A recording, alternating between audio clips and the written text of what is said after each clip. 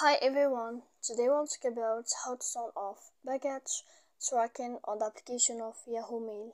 To know how to turn off baggage tracking on the application of Yahoo Mail, you should just go to the app of Yahoo Mail as you see and you click. After that in this page, you will go to above to this window and you will enter.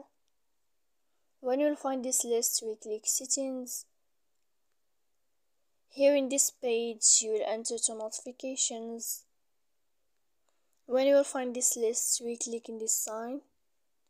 If this sign changed, then you can know how to turn off baggage tracking on the application of Yahoo Mail.